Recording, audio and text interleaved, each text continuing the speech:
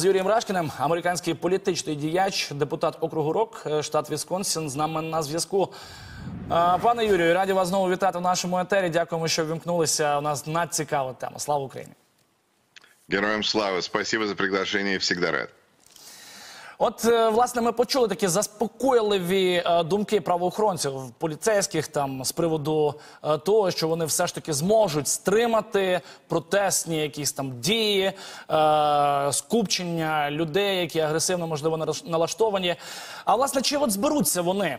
Чи вірять вони у свого ем, Трампа, і чи тут вже Не знаю, можливо, хтось там прийшов до е, стану Рона Де Сантіса. Ми ж знаємо, там боротьба у республіканців загострюється. Тож, будь ласка, вашу думку на цей рахунок хочемо почути.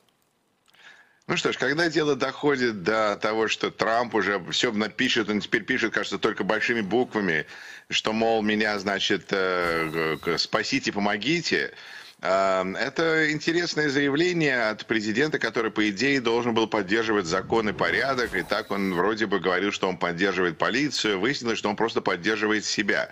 И хочет, чтобы полиция его поддерживала. Когда этого не произошло, он против полиции. Хорошо. А, То, что произошло 6 января 2021 года, стало таким большим шрамом на, на теле а, американской истории.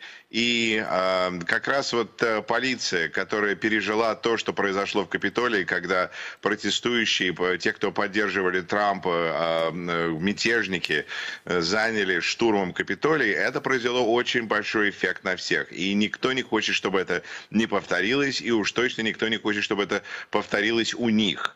Поэтому мы видим, как э, полицейские в Нью-Йорке, э, в Атланте, в- во Флориде готовятся к возможным, воз- как бы не то, чтобы они ждут, но они хотят показать, что они готовы и в каком-то смысле послать сигнал, чтобы отпугнуть э, возможных э, тех, э, так сказать, протестующих.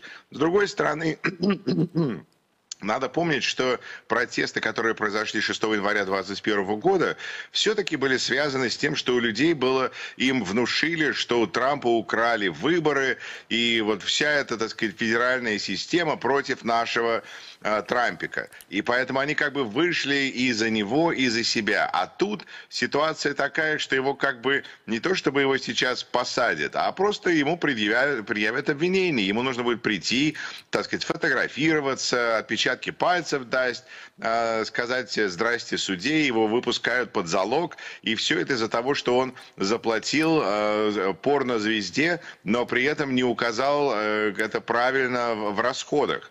А, Поэтому подумать, что это как бы всколыхнет народ на, на те же протесты, тоже как бы не такая сильная причина. Поэтому есть надежда, что это вот э, как бы показывание силы и, и другая, в общем-то, причина, несмотря на то, что в центре и этого урагана тоже Трамп, э, будет иметь другой эффект, чем э, мы видели два года назад. Но все уже готовятся. Доволі резонансна історія ця з Трампом і е, дівчиною, інтимні стосунки. Взагалі, е, чи можуть за таке у Сполучених Штатах от притягнути до відповідальності, тим паче ще й е, екс-президента, 45-го президента Сполучених Штатів Америки? Такого ж ніколи не було. ситуація ситуация тут беспрецедентная. И э, в данный момент мы еще не говорим о том, что его признают виновным. Ему могут признать в суде невиновным. Но тот, сам факт, что ему сейчас уже первые, потому что там как бы их несколько желающих, а, которые постепенно готовятся, но вот кому-то нужно было решиться стать первым прокурором в истории Соединенных Штатов, который предъявит, э, предъявит бывшему президенту а, обвин- э, криминальное обвинение. И вот Алвин Браг из Манхэттена а, первым под- решил, что он готов э, идти дальше к следующей ступени, перейти, и он, значит, подает эти обвинения. Но мы еще пока не видим, чем это закончится, и, и это, так сказать, еще просто продолжающийся процесс. А, Возвращаясь к вашему предыдущему вопросу по поводу Рона Десантиса и политических э, последствий того, что происходит, с одной стороны, выглядит так, как будто бы э, он это просто большой плюс для Трампа, потому что он говорил, что на него все нападают и на него как бы точат ножи федеральное правительство. И вот, смотрите, ему уже предъявляют обвинения, и действительно система вроде бы против Трампа. Соответственно, он на этом, с одной стороны, соберет массу денег со своей паствы, которые как бы и так готовому и жертвовать ему большие деньги, но а, по некоторым а, просчетам это может ему как бы принести миллиард до миллиарда долларов которые могут ему пожертвовать, поскольку он такой несчастный э, под атакой. А с другой стороны, мы видим, что его популярность среди республиканцев стремительно опять растет. И сейчас даже Рон Десантис, про которого как бы, ну, была определенная надежда, что, может быть, вот человек, который сможет э, вытолкнуть табуретку из-под Трампа. Нет, теперь у, у Десантиса что-то 26% поддержки республиканцев, а у Трампа за 50%, потому что и Рон Десантис не показывает себя уж таким сильным кандидатом. Он что-то на, на, на людях себя странно ведет. Плюс поступают какие-то странные репорты, что он вообще еду ест руками. И там какие-то, так сказать, непонятно, что у него там происходит. Может, во Флориде это можно, но когда люди попадают на национальную сцену, на них смотрят более пристально. А, но, так что сейчас у Трампа масса шансов. Его как бы республиканская праймарис, э, шансы только улучшаются. Но при этом шансы выиграть общие выборы продолжают ухудшаться, потому что, что бы ни говорили, когда вам дают криминальное обвинение, это нехорошо. Пане Юрію, а от у разі все ж таки, якщо стануться ці протести, шанси зменшаться у Трампа? Шансы у Трампа на то, что он... э, На что, вы простите? Ну от на президентство, взагалі, на те, щоб він е, вступив у боротьбу за Вы крісло знаете, президентства. Хотелось бы сказать, что шансов он- у него нет вообще, потому что проиграл он один раз, и обычно, когда вот в такой ситуации человек оказывается, то он проигрывает еще с большим разрывом, чем в прошлый раз. Но мы так все натерпелись от него за первые четыре года, и такое появляется четкое понимание, даже от его твита, когда он, э, его, опять же, ему говорят, э, вы призывали людей идти на Капитолий и штурмовать его, и бесчинствовать э, 6 января? Он говорит, нет, это не я, это не, не, не я. А теперь он открытым текстом опять то же самое говорит, идите спасайте меня.